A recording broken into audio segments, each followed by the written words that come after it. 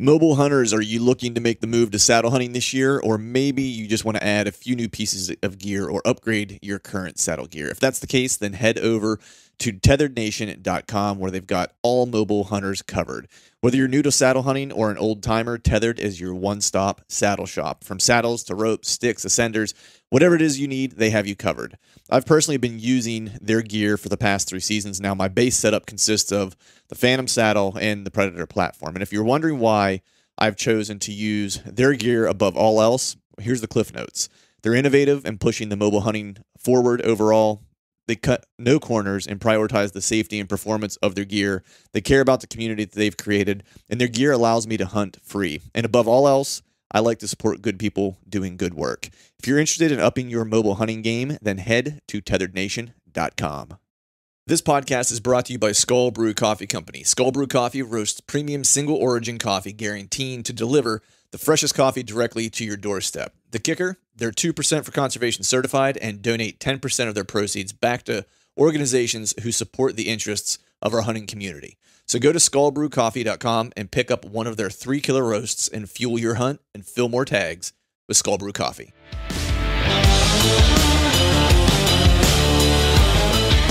Welcome to the Truth from the Stand Deer Hunting Podcast brought to you by Skull Brew Coffee Company. I'm your host, Clint Campbell, and you're listening to episode number 211. Today we're talking about making the transition to hunting public land and hunting stories with my buddy Aaron Hepler. So stay tuned.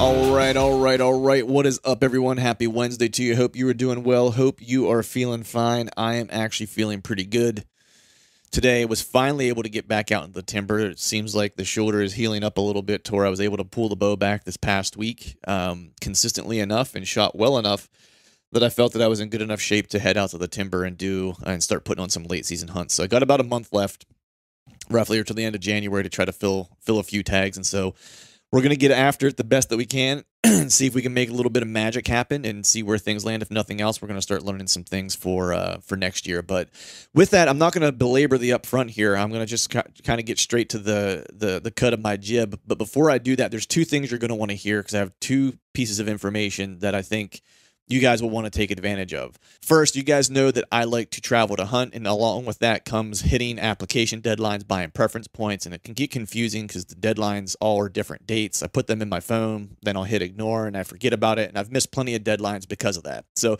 this year, I started using a tool called Hunt Reminder. If you go to huntreminder.com, you can check it out. Use the promo code TRUTH, and you get five dollars off your first year. But I literally just got my first reminder that I just got the text message that the non-resident Iowa turkey, spring turkey uh, application period has just opened. So it sent me the reminder to tell me that I can now go ahead and sign up for my application for a spring turkey in Iowa. So what is Hunt Reminder? It's an application period and lottery reminder service. They essentially have a database of over 470 different application periods across both the US and Canada. This ranges from big game, small game, migratory birds. The application periods include preference points, public land drawings, youth hunts. So anything you would want to hunt, any type of hunt you would like to do, they likely have a reminder specifically for that.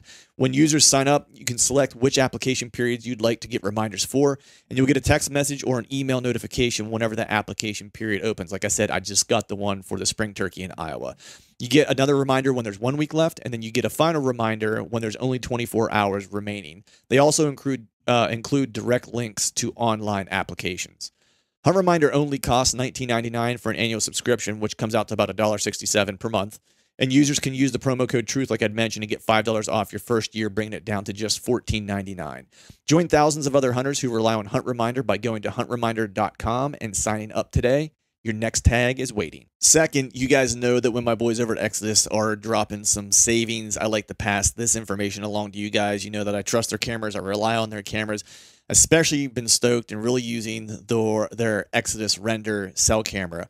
And so with that, here valid only during the month of January, they are doing a pre-sale on their Exodus render, which is their 4G Verizon 4G LTE camera that is now available for pre-sale. So the demand for this particular camera has been has been crazy, and they were out of stock during their annual Black Friday sale. So what they decided to do was that starting right now, they're extending some of those best prices that they had during Black Friday to the listeners of this podcast. So all of January, you can save $35 on each camera that you buy using the code RENDER35. This code will also work for any of their solar panel bundles and also their security bundles. If you want to be sure to be the first to know about these updates on pricing and, and, and, and, cool things that they have going on, you want to make sure you head over to exodusoutdoorgear.com and sign up for their newsletter at the bottom of their website. If in case you're not familiar with Exodus, which I'd find it hard to believe if you listen to this show, all of their cameras are backed by a five-year no BS warranty and even includes a five-year theft and damage coverage. They simply have the best trail camera warranty in the industry and have the customer support to back everything up. The cameras just flat out work. So don't hesitate. Make sure to take advantage of this savings. Head over to exodusoutdoorgear.com. Use the promo code RENDER35. So, with that, I have a cool show for you today. I'm joined by my buddy Aaron Hepler. Aaron is a fellow Pennsylvania public land hunter. Uh, we don't live too awful far from each other, so we hunt very similar type of habitat. Um, however, he is just a little further west, so it is just slightly different than what I have in the in the area that I hunt. We talk a little bit about those differences and some of those similarities. We also had a very similar kind of transition into hunting public land overall, where we both kind of grew up heavily steeped in the Pennsylvania hunting heritage, and then over time you know, transitioned from hunting our families, you know, back 40s or farms or whatever, and then transitioning more into um, hunting public lands, and then more specifically, we start talking about the uh, about hunting big woods, where you know he and I both have an affinity for finding larger tracks and you know and, and, and larger kind of pieces to to to roam uh, to roam freely. Uh, this podcast is a part one of uh, of a two part series, just because Aaron and I spent uh, like two and a half hours together, so it felt most appropriate that we break this up into two sessions. But before we get jumped in, as always, I want to thank you all for listening. All right, folks, welcome back to another episode of the Truth from the Stand Deer Hunting Podcast. I am today joined with a buddy of mine who he's well, I'm going to refer to him as a brother because he's he's also from Pennsylvania, man. And like if we're if you're a a public land bow hunting whitetail freak from Pennsylvania, I feel like we're all kind of birds of a feather. And so I got love for all of them, unless you give me reason not to. And uh, I'm talking to another another other than Mr. Aaron Hepler. What's going on, brother? How you doing? Nice to talk to you, buddy. Yeah, man. Appreciate you. Uh, appreciate you coming on, making some time to to come hang out in this uh, in these super strange and weird times. Very super strange and weird. They'll they'll be like that for a while. Yeah, I know, right? So we we finally. It seems like maybe there's a light at the end of the tunnel. Maybe I'm ho- I'm hoping so. We'll see what happens in the next couple weeks. Yeah. Um.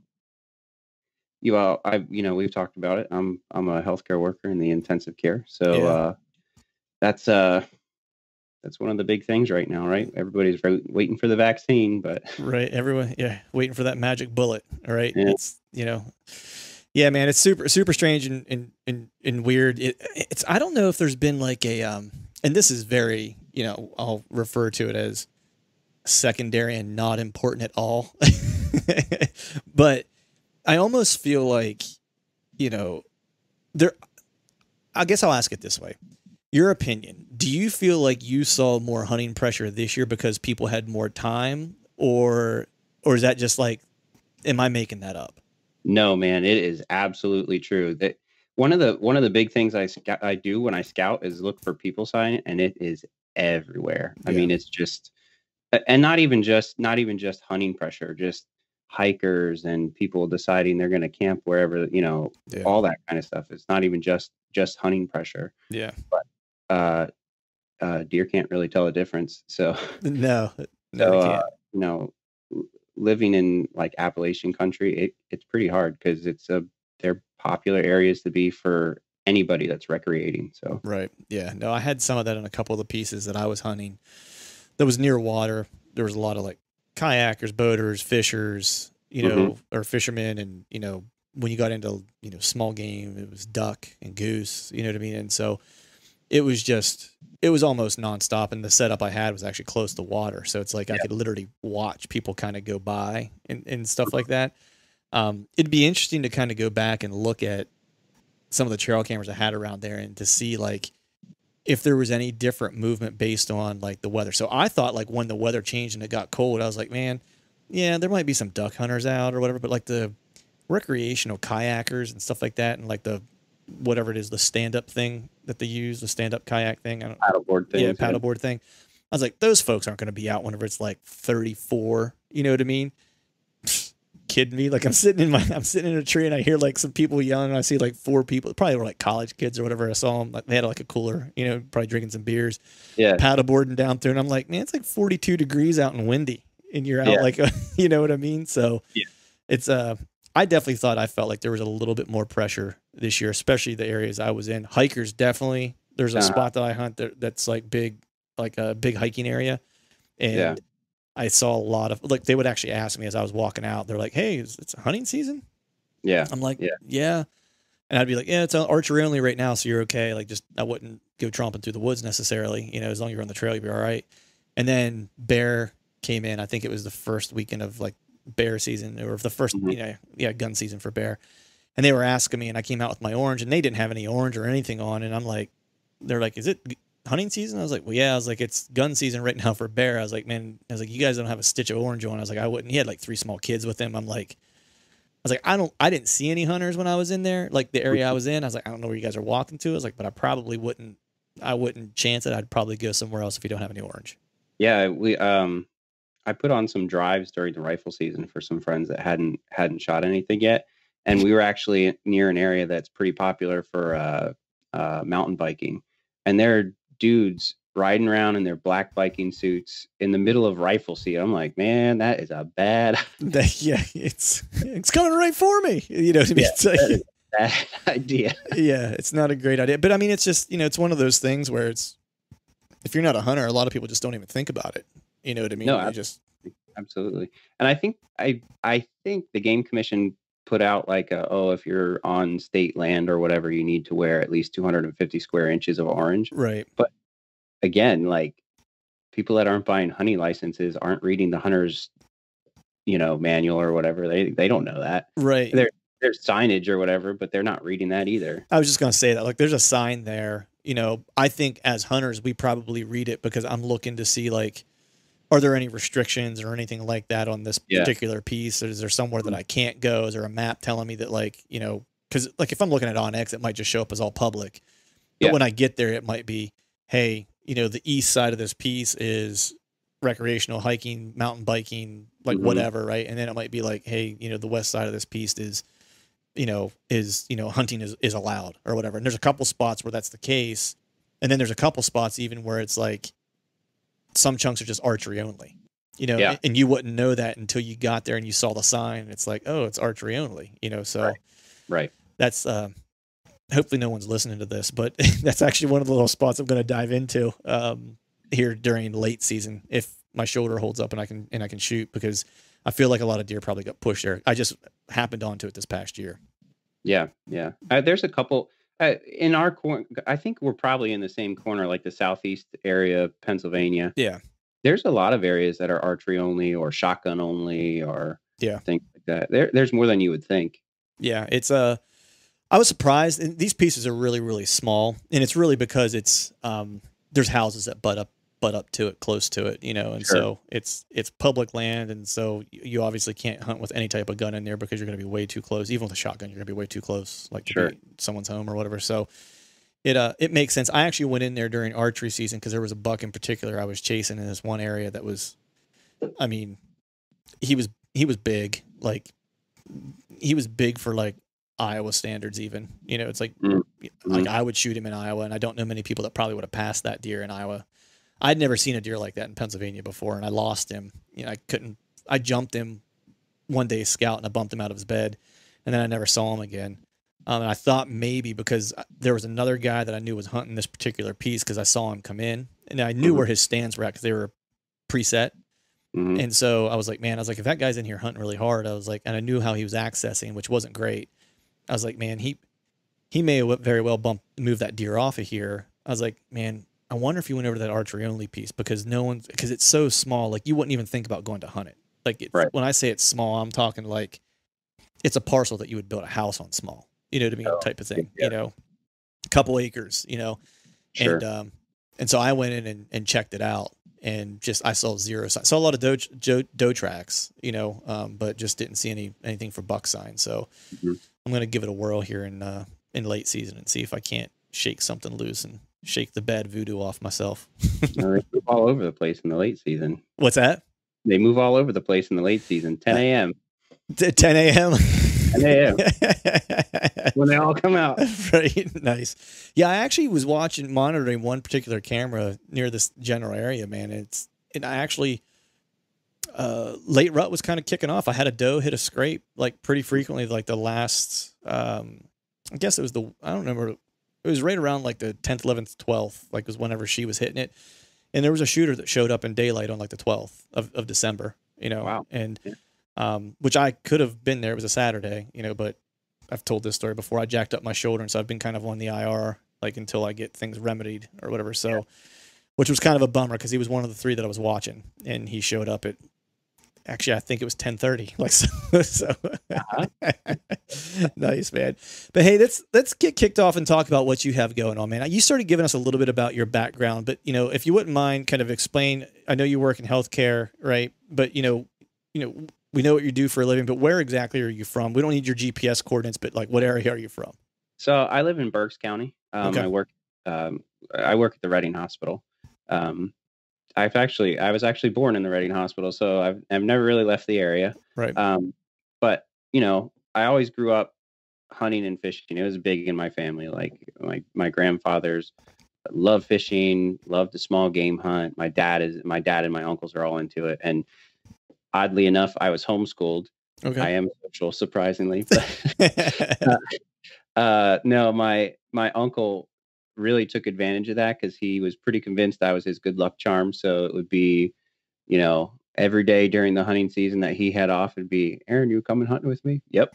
right. So- That's nice. Uh, you know, I got a lot of um, got a lot of time hunting in with him. So, and and my dad too. Uh, my dad worked had to work a little bit more than my uncle, but my dad and my uncle taught me all the basics that I needed to know Right. and um I kind of grew up from there. They they uh they are pretty typical Pennsylvania hunters. Like okay. Uh, that was going to be my next question. Yeah. uh, they don't like to go too far, but they they've always they've always done a good job. We always had like a few private parcels that we would hunt that were Mhm. small, and they you know they're happy. They're just happy being in the woods. Like they're Right. just good old fellas that like to you know they don't care if it's a buck or if it's a doe. You know they're just happy to shoot something and Yeah. just to be out. Um, in fact, my dad my dad's only ever shot one buck when he was a teenager. Oh, really? Yeah, it was probably 35 years, 40 years ago. So Wow. um yeah 40 actually probably 45 years ago Got to get him on So- a buck, man. I, well i it's not that i haven't but right. you know you, you know it's just not i don't know it's not. he's- It's not the end all be all for him. I know what you're saying. Yeah. My dad's. My dad's the same way. yeah, yeah Yeah. but um they love hearing my stories and you know they just don't want to go that far Right. No, I totally hear you, man. I go in they're like uh i think i'll stay right here Right. It's it's funny, like you know, a couple of the buddies that I have that we that are all from PA because I grew up near Bedford, Pennsylvania. You know, Uh-huh. so um, very similar. Heavy hunting heritage. Started hunting whenever I was a kid. You know, same type of thing. Wasn't homeschooled, but you know, we had a a, a back forty that was like thirty two acres or whatever, uh-huh. and uh, I'd come home after school. You know, whenever I was a kid, and it was back in the day where you know, yeah, I was supposed to be 16 before I could hunt by myself, but we lived out in the country, so you started doing everything a little earlier. You know what I mean? It's like I started driving when I was 12. You know, down Right. the road to my cousin's house or whatever. You know what I mean? As soon as you could touch the pedals and drive a stick shift on the tractor, you could take the car. You know, that was Yeah. kind of the rule. And uh, and so I'd come home after school and grab a shotgun and go small game hunt or whatever, and just Yeah. walk out the back door and do that. My dad was always kind of the same way. His big thing was more, um, you know, looking back on it because I always say it's. Um, I, I learned the basics from him. You know, he wasn't a Mhm. big bow hunter really at all. He he would hunt a little bit with a recurve once in a while. Usually, if it was if it was rainy or really windy, he would take it out and take it for a walk and still hunt. You know, Mhm, I never mhm. hunted from an elevated an elevated setup until I was in my 30s. You know, everything I ever did was hunting from the ground, like always as a kid growing up. Um, not just because that's how my dad always hunted, but he's the same way. Like he's killed a few bucks, but he just likes to be out in the timber, and he really likes small game hunting. That's like one of the things he he does like to do. I mean, I remember just like doing like ring neck hunting with him like all the time, and like rabbit Mhm. hunting and squirrel hunting. Like we hit all those seasons. Was probably the most frequent time I'd be in the woods with him. Like we would hunt rifle season that would come in, you know, together. But the majority of the time he and I would spend in the woods was actually probably small game. Yeah. You know? Well, I mean, my dad's the same way. Like, if he could just pheasant hunt for the rest of his life, he would. Like, he Yeah. loves that. And and in part, like, I actually um hunted uh, a a family friend's farm growing up a Mhm. lot. You know, um, I, in fact, I probably only recently got into the public land thing. I, I think I think it's like six years now that Okay. I've been hunting public land, really, really dedicated and and hard. Um, but you know that's really where my dad does his deer hunting is on the farm and Right. it's just it was a really great place it's like you said like we both know that in pa it's everything related to hunting has to do with the traditional part of it Yeah. especially like the deer rifle opener like you know Yep. growing up it was eh, nobody had school like uh and everybody knew where everybody was going to be Oh, that was the big conversation, like at camp, right? It Uh-huh. was like, where are you sitting Yeah. tomorrow? You know, Yeah. everyone like talking about. It's like where you. I don't even know why we had to talk about it because it's like you just had pre-hung sets, or you or you had like a blind somewhere. It's like where else are you gonna go? yeah yeah. well it was it's kind of funny because we i mean the group is really small now you know it's my Mhm. friend family and and basically my family and but back in the day it was like all you know all the pastors from our church and a couple of buddies here and i don't know how nobody got a shot we were Right. so close to each other and you know and we we they, we shot a lot of nice bucks it's a it's a pretty pressured farm because there's some caretakers that hunt it too and it's Right. ne- right next to it's in the middle of game lands like it's you know it's pretty it, it's not like a it's not like a like a you know it's not a back 40 you know it's, what i mean not. like yeah, it's not manicured. You know what I mean? Yeah. yeah No. But um yeah it's great, Yeah. great to grow up and learn a lot Yeah, exactly, man. I mean, it's uh now it's my dad's very similar to what you were talking about, where it's like you know he doesn't want to walk that far necessarily, right? Mhm. Or like you were saying, like he likes my he likes to hear my stories, like the adventures or whatever, you know. Yeah.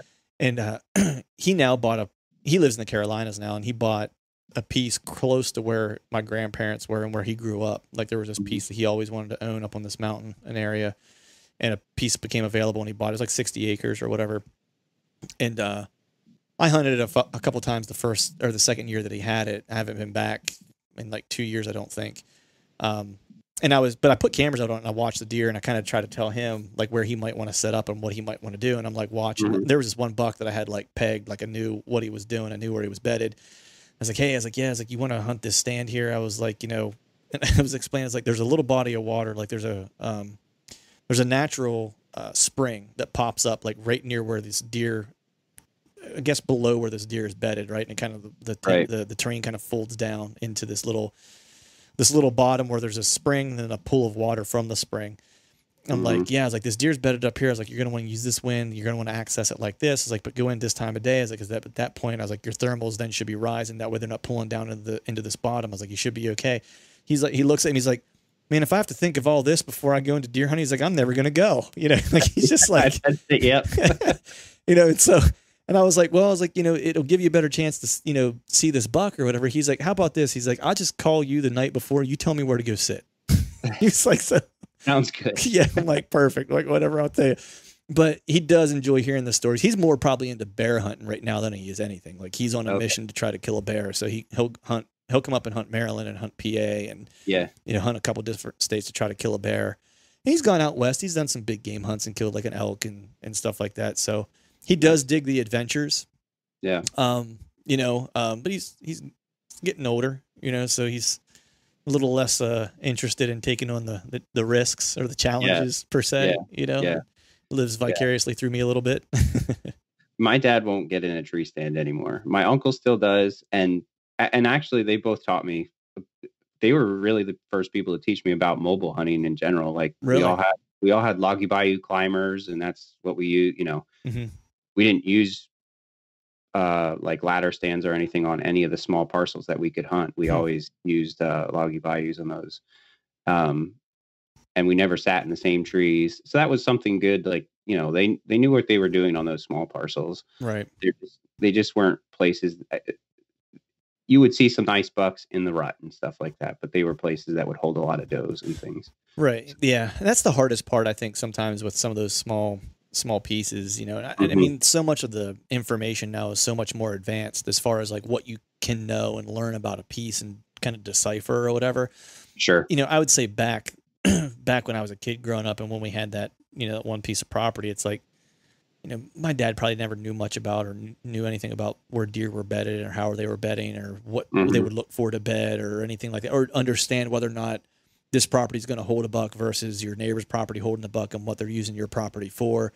You Right. know, it's um, that was also a time too where you're probably really beholden to the to the larger media outlets and whatever that narrative was that they wanted to kind of spell out based on whoever their advertisers were. Right. You know what I mean? So it's like, no, Yep. right now it's like if you put a scent out, it'll draw every buck in from 15 miles. You just want to use a lure. Doesn't matter what's going on.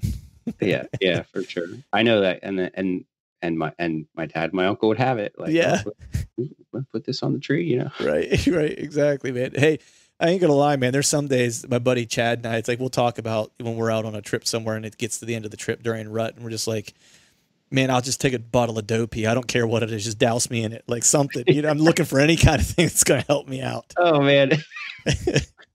Uh, you know, we had this guy that hunted in our group that used to do that. Like he would literally put it on his clothes and Oh, like jeez. in his hair. Like it smelled like he showered in it. You know? Right. And I remember one night, this he was like, he kept seeing this same buck for like four or five days in a row from the same stand on on this farm that I hunted. And I remember him like run into where we all parked, and he's like, "That buck." He just was running. He was running circles around me in the alfalfa field, and I was trying to get away from it. I couldn't get away. From that's amazing. Oh man, that's awesome. About got mounted by a buck. That would have been a story. Dude, that would have been quite possibly one of the best deer camp stories ever. I have one deer camp story. I don't know if I've ever shared it on here actually. Um so it, so back when we had that little property, so we had that small property and we had a deer camp. I don't know if I've even mentioned this name on there, but there was a small pond by my uncle's place and that's where our camp was, right? So we lived up on this hill and it was right along the Juniata River is where we Mhm. lived. And uh, in a town called Everett, and actually Graceville, which is even smaller little place near Mhm. Breezewood. And my uh my uncle had a house that was actually down right by the river, right? And then my grandfather had a house that was literally on the river, right? And so my grandfather owned a horse farm and he had horses and and he had some acreage and he was getting older at that point and sold most of it off. But he had he had some and we had 30 and my uncle had a few or whatever and then our camp was at my uncle's place and there was a small pond there and and it was called Boudico Pond. I don't know mm. why it was ever called Boudico Pond. I think it was literally one night one of my uncles was drunk and called it Boudico for I don't know why. It had to have been some type of inside joke that I was probably too young to know about or whatever. Yeah. And so it became Camp Boudico. Right? And it's like, you going to Boudico? Yeah, we're going to Boudico tonight. That was where we hung out, right? And what it was was like it was an old pool behind I mean, this thing had to have been from the 60s, like a pool behind RV trailer type thing, right? Put up Yeah. on blocks with the door open, and then it was it, it was fixed to a small wood shanty that was built up against it, right? So like the beds in the kitchen were in the RV, right? And then the wood stove and like the TV was in like the wood shanty, right? So that was Yeah. that was Camp Boudico, and uh, and really all it was like my dad and I didn't stay there very often because we only lived a mile and a half from there, so we would go watch. We could get football on the antenna. So this is back when the opener was on Monday.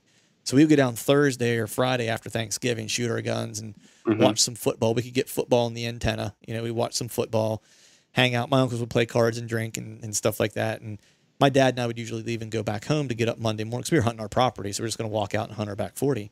And my uncle would usually come up and hunt with us. So my uncle is a little bit of a, I, I love him. Like he's, he, but he, he he is um, your quintessential kind of Pennsylvania, like, and I say this affectionately, hillbilly, right? Yeah. big old beer belly, beard down to like almost his navel. You know what I mean? Like just a big kind of gruff dude. Never has a haircut. You know what I mean? Just he's a mess all the time, right? But just he's loud, and you would think he's kind of like when you first met him, you'd be like, man, that guy's kind of a jerk or whatever. But once you like, he's just like the biggest teddy bear on the planet. You know what I mean? Sure. So sometimes like he might have he might need the hair of the dog while he would go hunt or whatever, you know, because he might Uh-huh. be a little worse for wear the next morning, right? Yeah. yeah. So this particular day, he goes out, and uh, he, he did more like watching than hunting. Like you know mm-hmm. what I mean? Like I'm gonna go sit in the woods. He'll take a six pack with him, you know, and sit down and like drink a couple beers while he's hunting. and this year it was like just crazy cold, and he and he was pretty sure he was hungover from the night before, right? Uh-huh. Had a couple beers, and his drink was always George Dickel. And so I'm pretty sure he always had like a little sniffer of George Dickel with him too to keep him warm, you know? Yeah. So he decided, I mean, I don't know if he thought he was going to kill anything or not, but he decided, man, it's cold out. He's like, so he decided to start a little fire. So he started a little fire on the ground, passed out, woke up and his pants were on fire. oh, and then was rolling around on the stop, drop, and roll in the, in the woods and put himself out. And he finished finished out hunting. The story gets even weirder. He puts the fire out and I mean, it's like World War Three, like a war zone around our house. Like growing up when we were hunting, because we were surrounded by other like bigger farms that their whole oh, families yeah, came I, and they would drive. I mean, you know, it's like it's just, yeah, it's, I know it. You know, it sounds like you know the war's breaking out. Mm-hmm. And so all of a sudden, he puts himself out and he's sitting on the ground and he just hears this crash, crash, crash. Right, picks up his gun. He's like, I can't believe it. Right, this deer comes running up. It was like a small spike, like he wasn't going to shoot it, and it falls over dead. just falls over dead at like 30 yards, right? And so clearly, like someone on the neighbors like shot it or whatever, you and, know what right. I mean? And just sure. it took off and whatever. And so he's watching, waiting for someone to come. No one comes, no one comes, no one comes. And so, you know, he was like, well, I'll bring it up. And because we knew all the neighbors around us, and we'll go, you know, he was like, I'll just go see if any of the neighbors shot this or whatever. And so he brings it up the house. He's dragging it up to the house. His pants are all burned, right? He just looks like a mess. but dad's like, what the hell happened to you? He's like, oh man, I started a fire, I caught my pants on fire. Like this deer came up and fell over dead. Like it's like a great story. It's the craziest story that I've ever heard. If I, if I weren't there to actually hear him tell it, like and, and had seen like his pants burnt. Funny thing was, he wore those overalls for like the next three seasons. Like never. Why would you? he never did. We never did find out who actually shot the deer. Like we asked, like, well, so the farms that were around us were like on each side of us, and then the bottom mm-hmm. part of the um, down by the river, mm-hmm. a bunch of out of state folks owned cottages along the river, and they would just sit along the river and just okay. Because deer, as soon as you would shoot up up toward us, like the farm or us, if you shot and you missed, they would run toward the river. You know, okay. so they would just sit down there and wait for deer to come running off the crop fields and down through our property, and then yeah. and shoot as they're on their way down. So pretty sure someone from out of state shot it because we had no clue who it was. So he ended up tagging it, you know, just in, in keeping it or whatever, and put a tag sure. on it, and was he was tagged out. That was it. That's a perfect tag out. I know, dude. It's one of the craziest stories that I've ever I've ever seen. But like, but that's what's cool about the Pennsylvania hunting tradition, man. Is like that kind of stuff, right? It's just like the yeah, weird, crazy stuff. Right, and that's part of why we do it. Wow, it's one of the. I mean, if there wasn't stories, would we do it? I don't. I don't know. They're the best part. Right. Yeah. Because I mean, if not, we're kind of crazy. You know, yeah, we're, we're, we're, a little nuts, but absolutely. But speaking of crazy, man, I want to dig into how your season's been so far. Like, so give me a give me a little taste of how uh, how how did Pennsylvania treat you this year? It was it was actually a great season. I um I tagged a buck on public land this year. My like I said, my my public land experience is I mean, I've always hunted public land, small game, stuff like that, and I had a few good experiences. Um, growing up. But this year was this year was uh, pretty great. Um, you know, it started out with uh, my one buddy kicked it off in the five C area where the, you know the early archery season opens. Mm, that's down um, by me. Yep. Yep. I have a, a couple close friends that I hunt with, so um, I'll probably refer to them a lot. But uh, he he killed a doe, or, or, like that was his goal. Like he's in nurse practitioner school. He doesn't have a lot of time. He's like, oh, I'm gonna go and shoot a doe early so I can get something in the freezer. And he did. He went out there, and the first night he went out, he shot a doe. And um, I told this story on on um, Tony Peterson's podcast, yep. uh, Hunt for Real. he actually got lost in a large chunk of woods and his phone was dying and they didn't have really great reception. Oh, was able to send like a couple of like SOS texts like and I just get get these texts like meet me at so and so stat bad shape need water i'm like oh no like i'm thinking something really bad happened to him and yeah those aren't I'm good like, texts try, to no man i'm like trying like i knew where he was because he and i always send uh, waypoints like this where i'm gonna be Right. Like just in case. you know. So I ended up we ended up I had a, one of my buddies that lived closer to the area go go there first and he's like his car's not here. Like Jeez. like what in the world is going on?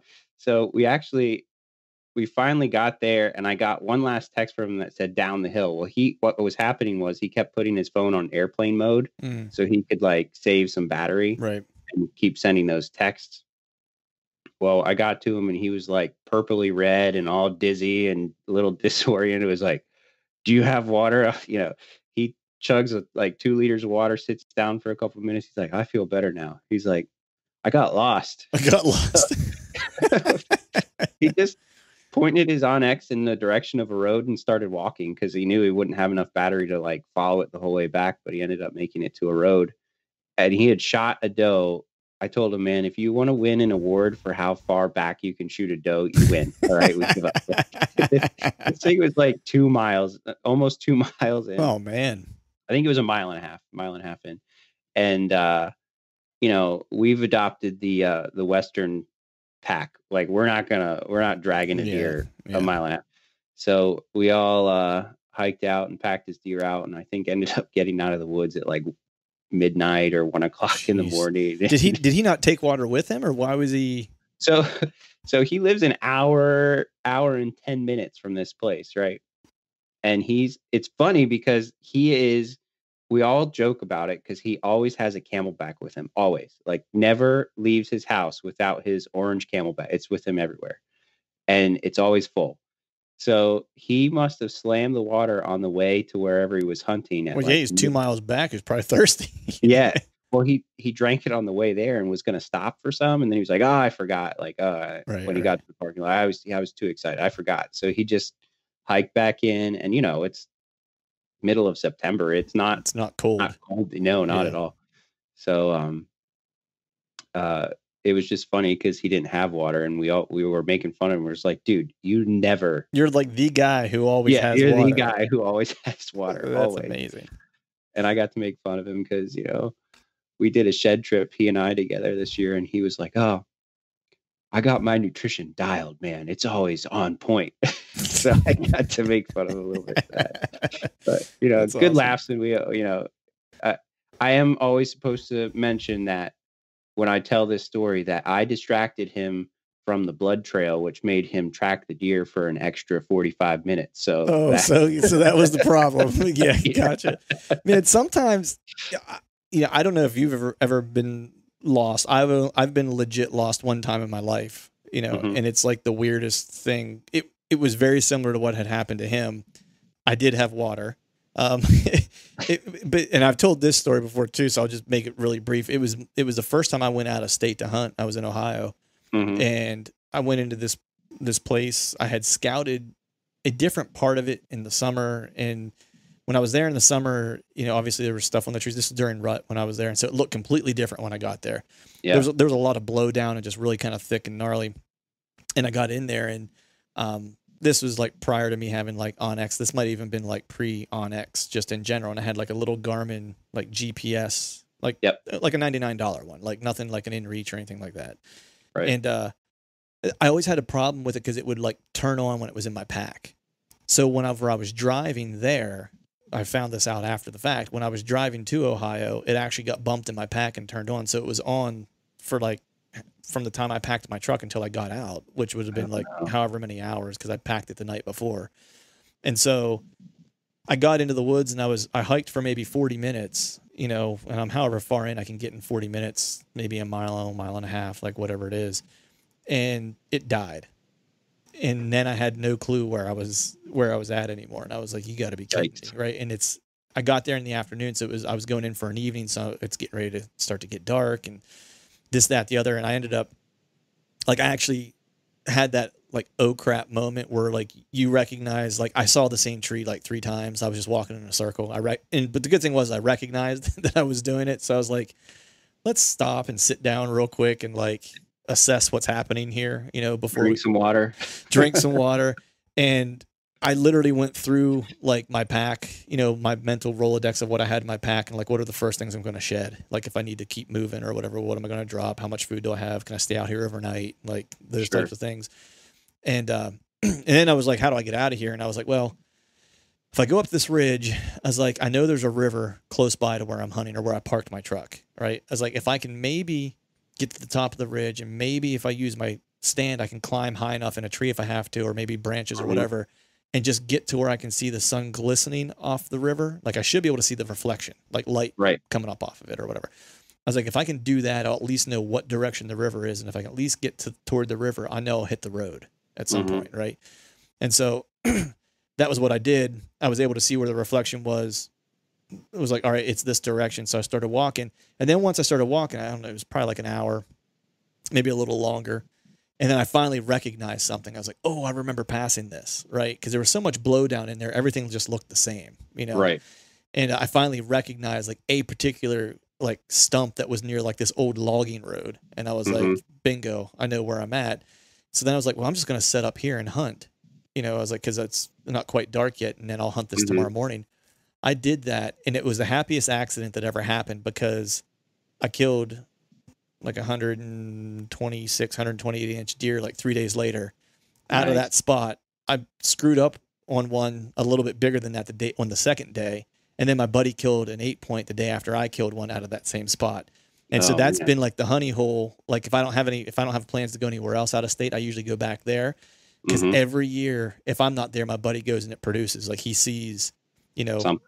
anything from like a mid 120s to like you know a mid 140s like we'll see yeah. there every every year you know so right. that was that that was the happy accident of getting lost but it's unnerving man to not know where the hell you're at yeah I mean, it was unnerving to be on the other end of it oh, being like sure. person that's like oh i'm gonna i'm gonna meet you out there don't worry i'll be there and then you know calling his wife on the way i called his wife on the way over because she was texting my wife and was like, something's going on. Like he's not, you know, I'm like, oh, yeah, he said his phone's gonna die. I'm gonna meet him out there. Don't worry. Like, oh, I'm just gonna go get his deer. You know. like, nice. So your buddy killed killed a doe uh, early so he, part of the year. And what was uh what was the deal with you, man? How'd you do?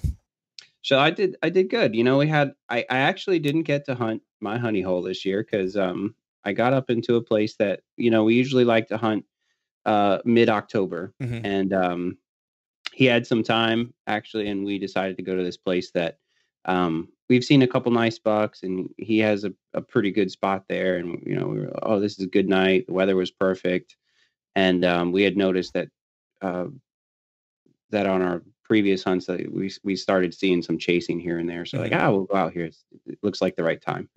And it was what was the date? Right, what was the date on this? Uh, October twenty seventh. Okay. Yep. So last year we hunted it more towards the mid of, middle of October because we did have some nice cold weather, mm-hmm. Um, like uh, around the 18th last year, and that we saw a lot of nice stuff out there last year.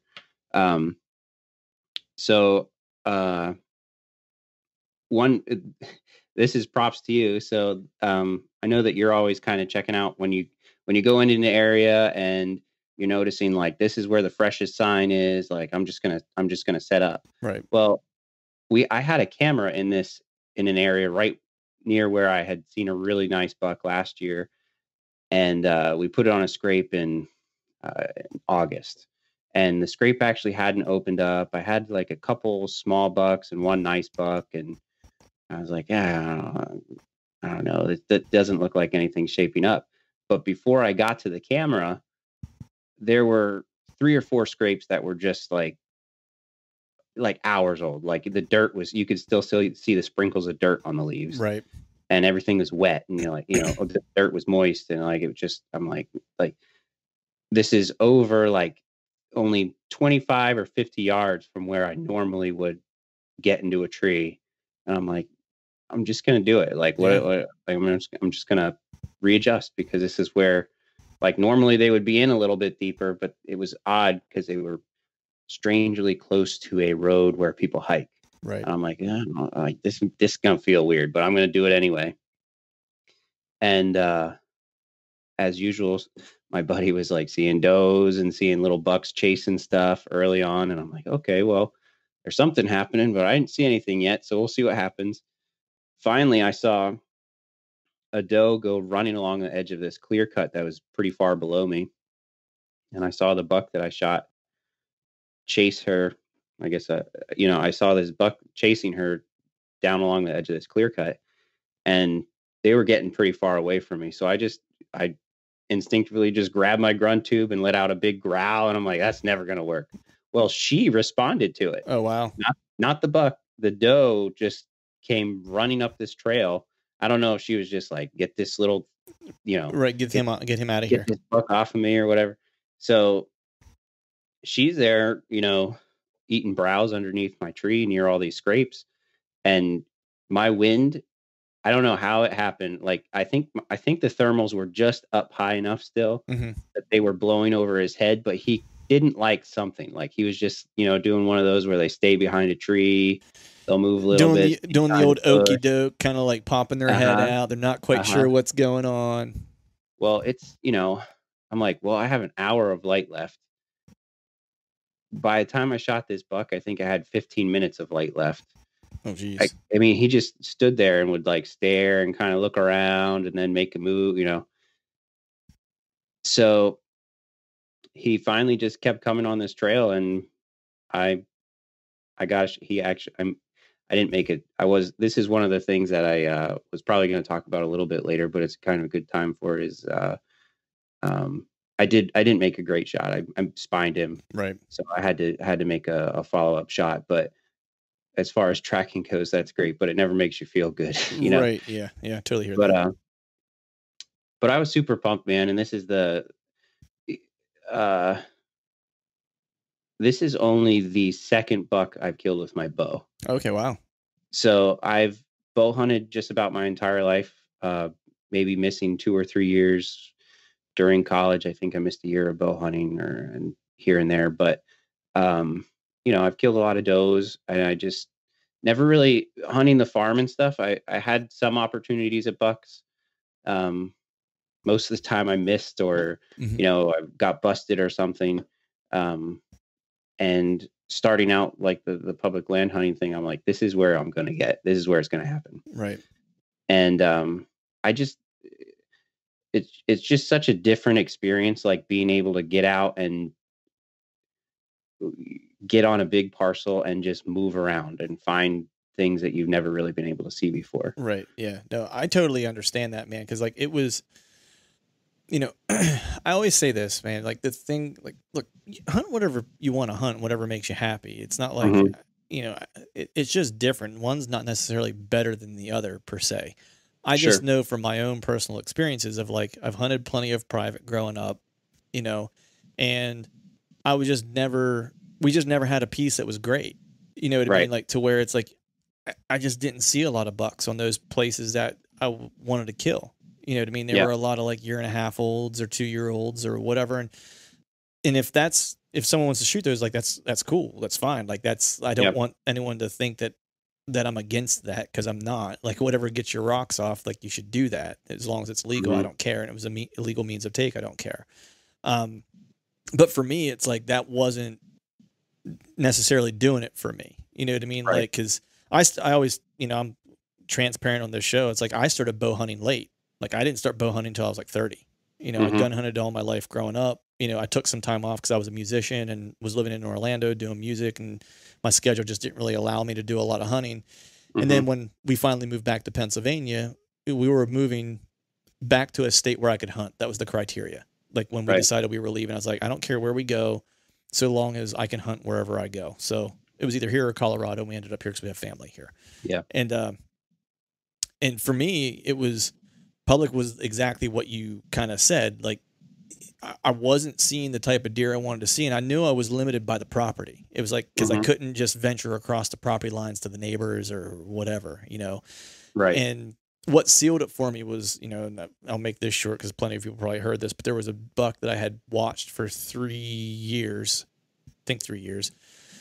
Um, well, actually, I watched him for two. I knew of him for three. Put it that way. He didn't catch my eye until the second year, um, Mhm. and he was living on the neighbors, and I knew that. It wasn't. I didn't figure that out until like the end of the second year, and Mhm. then um, I saw him during late season. I hunted him four times and four four days in a row and had three encounters with him in four days. Yeah. And I just couldn't get an arrow in him.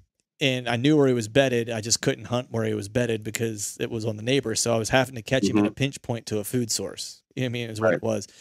And um, I hunted him the opening day of the following season because we had a cold front, you know, that October 1st or whatever it was hmm nice high pressure day. Slipped into where I thought he was going to be. I glassed him in the summer. I knew what he was doing. I knew where he was bedded. I was like, he is dead opening day.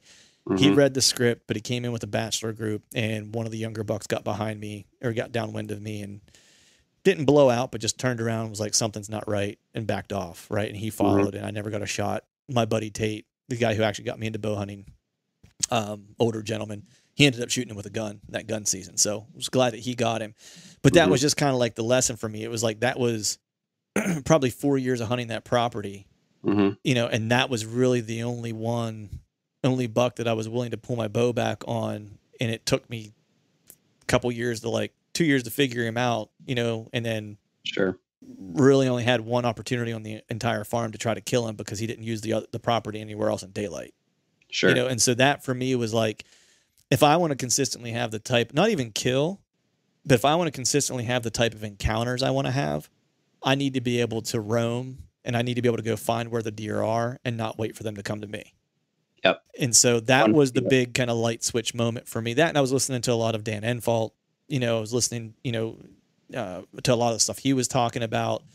Um, at that point, was introduced to like you know a lot of the stuff from the Tequistos. You know what I mean? Yeah. And so it was really that more aggressive style of hunting that I wanted to do, and I was starting to do some of that on the farm, yeah. but it was really hurting me on the farm.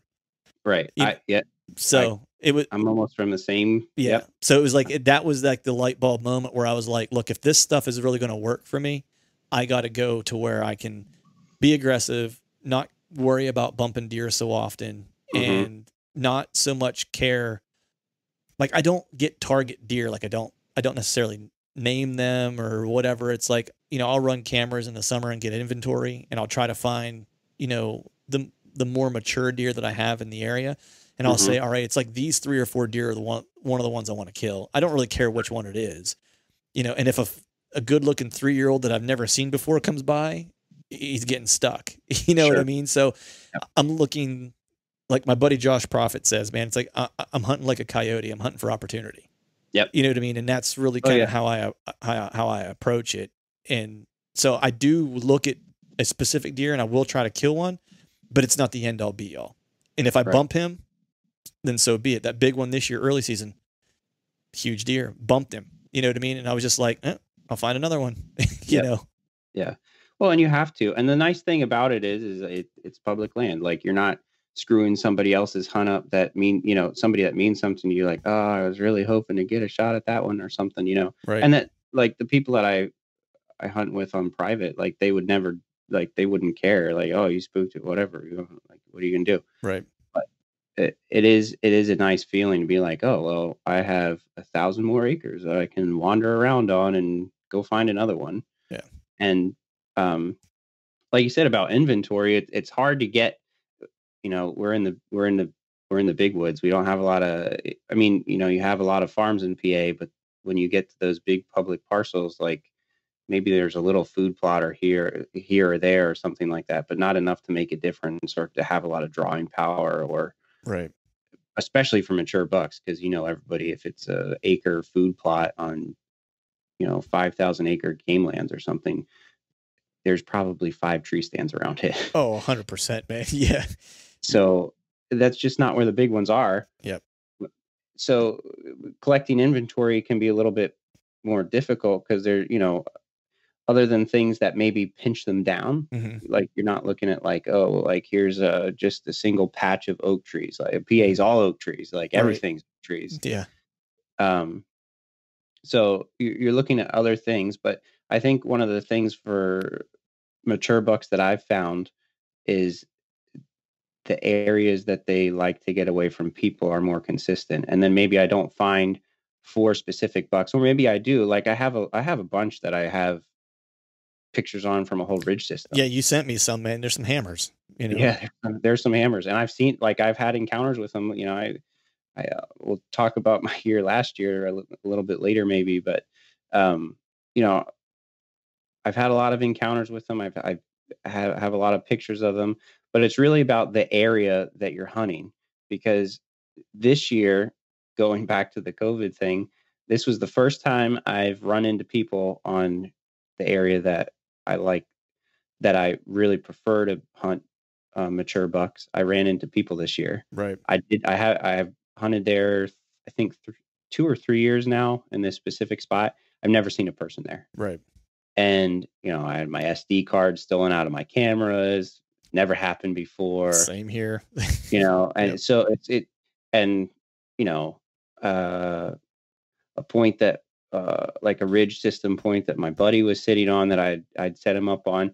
Uh, one day he went there last year and saw I think ten bucks and probably I think four of them were um, you know three and a half years old or better. right. And this year we had we didn't see a buck on it. Wow. Didn't see a buck on it. So it's I I really think it has to do with the pressure that Right. was in there. But um, Yeah. you know it's all like you said it's it's really an opportunity thing. Yeah, no, it totally is, and it's and you're right. It's trying to find those little places like where they're going to consistently want to be because they're away from away from people. And a lot of times when you find those spots, it's like the one spot where I had that good deer this year. It was water access, pretty much only. I mean, you could walk in if you wanted to, but you're not going to see anything if you walk in because you have to walk through so much stuff to get there. That it's and that's why when I scouted it, I walked it, and as I was scouting it last winter, I was like. I didn't have a kayak at that time. You know what I mean? Mhm. And I was like, I was like, man, if I want to hunt this, and it was good. I mean, there was like a hammer primary scrape area. Like, you just walk in and you see it, and you're like, oh man, yeah. You know, and you Yeah. walk the perimeter, and you're like, oh dude, it's completely covered. Like, no one, no one in their right mind would walk in here, and if they did, they're never gonna see anything, so they wouldn't. You know? Right. It just blow it out. Yeah. And so I was like, man, if I'm gonna hunt this, I gotta, I gotta kayak in. You know, Mhm. and that was how I how I got in, and consistently had good deer showing up on that particular scrape. And I didn't see a person in there until uh, gun season. I got a person, like one person on camera, you know, and uh, but yeah, I mean, I think finding those little nooks and crannies where people aren't going to be is is key, and then having the room to roam to kind of go go track them down. You know, that's mm-hmm. the that's the biggest thing, man. For me, it's like I like hunting and not waiting. You know, it's like I want to be able to move and go go find them. You know what I mean? Yeah. It's like because if they're not in one place, they're somewhere. Right. You know, it's like it's just a matter of putting in the time and going and, and figuring out where they're at. You know, and sometimes you come up with snake eyes. Like there was another piece this year. It was pretty big. I had a good deer on, and I lost him. And I hiked six miles across that mountain trying to figure out like where he was at, try to pick up anything of his sign. hmm Nothing. Yeah. Zero. And, like he just like vanished like a phantom. Like you They know what I mean? And- yeah, they do. They, it's almost like they know where you have your stuff and where you're going to look for them. Like they, they avoid it, you know? Yeah, yeah. There was one area that I didn't look because I thought it was, and in hindsight, it was. Pro- I probably should have looked because it was. Um, I talked about this with Greg Litzinger on our previous podcast, but it was a little closer to houses and a little closer to like to the parking area, Uh-huh. and I always had him headed in that direction early in the year, and then he vanished, and I have no clue where he went, and that was really the only spot I didn't look because I was just like, "There's no way he's going to be down there." You know what I mean? I was like, Uh-huh. I, I talked myself out of it. Um, I think I did get one picture of him during rut. He passed through at night. I couldn't tell well enough to tell if it was him exactly, but the frame looked about right. Sure. Um, but he was a he was a nice deer. You know, would like to have would have liked to have run in uh, run into him, man. But all right, folks, that is a wrap for part one. I'd like to thank all of you for listening. And if you haven't yet, please head over to iTunes and leave us a five star rating and be sure to subscribe to the podcast. Hell, while you're at it, head over to YouTube and give us a sub there too. I'd be super appreciative if you do those couple things for me. And before I shut this thing down, I need to give a big shout out to our partners who continue to help us make this podcast possible Tethrd, Exodus Outdoor Gear, Skull Brew Coffee Company, and Maven Optics. And until next time, we'll see y'all.